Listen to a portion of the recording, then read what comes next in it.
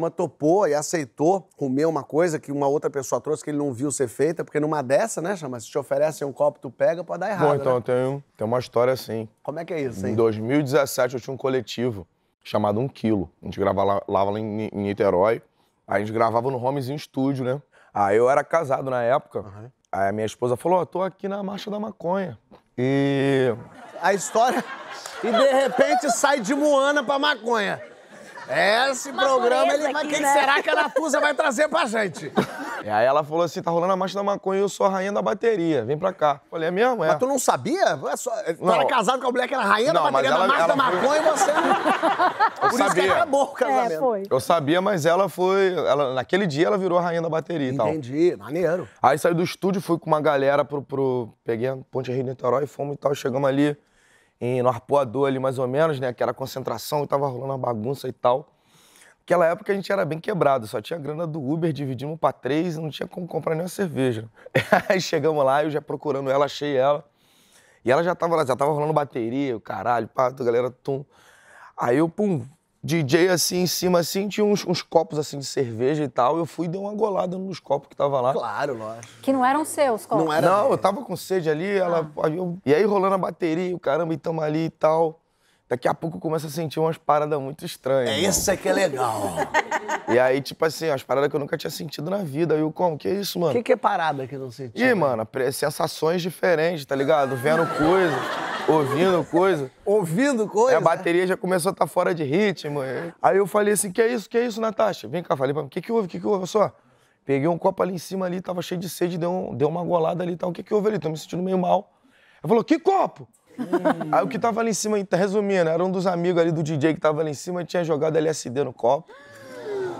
E aí naquilo eu já fiquei desesperado, nível máximo. Mano, o que que tá acontecendo? Já ela falou, não, não, calma. Eu queria ir conversar com os amigos. Ela, não, vamos pra casa. A gente já indo pra casa, aí eu falei, que isso, mano? Tamo andando, né? E ali eu já olhando, falei, que porra é essa? Essa rua aqui não era assim, não.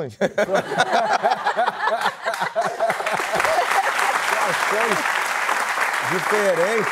Aí entramos, né, pra ir pro elevador, aí já vem a vizinha da frente, mano, a coroinha, que tinha um gato e tal. Eu falei, Natasha, quero conversar com você. Aí eu, que isso? Logo agora? E ela, e ela começou a reclamar e falar de barulho de música alta, de não sei o quê, pá. Aí eu, como, eu já não olhei que ela era a vizinha da frente. Eu olhei a coroa assim, já vi um bagulho, tipo, totalmente estranho. Você achou que ela era o quê? Não, fica uma parada que tava tentando contar gente. Não sei se era um polícia ou era um outro cara. Aí eu vi discutindo, meio que discutindo com ela. Eu falei, vou dar um socão nela, quer ver? Só que não era, tipo, não era isso. Ela senhorinha. Natasha, eu falei, essa senhora aí tá falando o quê e tal?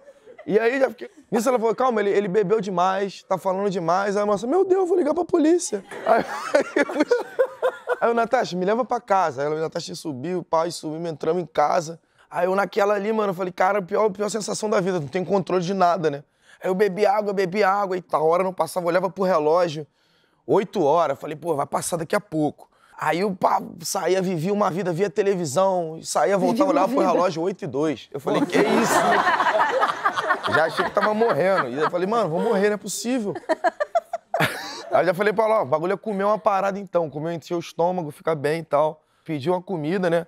Aí eu tô ali naquela ali, mano, aí tá passando assim, daqui a pouco, pum, toca a campainha. E vem o, o entregador da comida, Sim, né? claro. Aí me vem com o quê? Com a porra de um capacete na cara. Tá, é, que Com- loucura, né? Um motociclista de capacete. Essa gente Não, com tá aquela, perdida. com aquela, com aquele Mochilão é, atrás. Mochilão, eu olhei e falei, que é isso? Achou que era um Power Ranger. assim. Já, já morava aí, no nono andar, já botei a, a cara pra fora, falei, socorro, polícia! Socorro! Resumindo. Você achou que ele era o quê, aquele cara? Você- Mano, não sei, pô. O cara entra na tua casa de capuz, já tá meio como? Meio zureta da cabeça. Dormi, acordei no outro dia. Ela, cara, que que houve com você, mano? Ontem você virou outra pessoa. Aí, eu nunca tomo nada escondido do, do- do copo dos outros, tá ligado? Que loucura. Procura saber. Toda vez agora vê se tá fechado, se é meu mesmo, se não é, porque senão e tá no dia mesmo. seguinte deu uma, uma dor de cabeça? Não, já bateu uma bad, dor de cabeça. Falei, cara, sai pedir desculpa pra, pra senhora na frente. Falei, minha senhora, me desculpa aí, ontem eu como, me excedi o volume e tal. pá. aí passou batida, é isso aí, pô. Pô, que medo, hein? Que perigo um negócio desse. Pô, mano, 2017 era foda. 2017, eu nem me lembro de 2017.